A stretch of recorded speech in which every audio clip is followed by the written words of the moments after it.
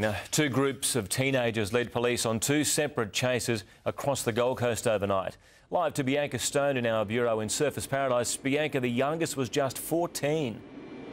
That's right, Bill. He was a passenger in a car that police say was being driven by a 17 year old who was high on drugs. The car sideswiped a police vehicle, went through red lights and across a front yard before being pinned into a concrete barrier by police. The dangerous chase was all caught on camera.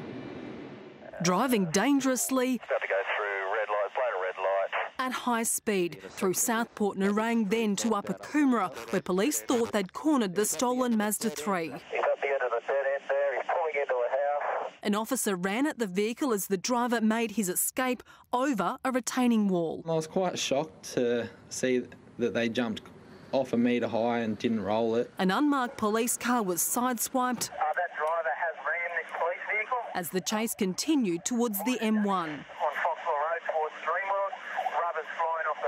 It was driving on three wheels. Road spikes had blown out the front passenger side tyre. A pursuit did uh, continue. It was only a low speed pursuit. The driver was trying to get back onto the M1 when police forced the car into a concrete barrier. One of the police vehicles had to uh, virtually merge towards the offender's vehicle. 17 year old Xavier Manalove and his 14 year old passenger were pulled from the vehicle. Both teenagers are now behind bars, charged with numerous driving and property offences. It is a concern, but not unexpected. You know, it's probably one of those things now on the Gold Coast and probably more so through southeast Queensland that a, a majority of our property offenders are uh, teenagers. Less than an hour later, police were pursuing another stolen vehicle, this time in Merrimac. Requesting assistance.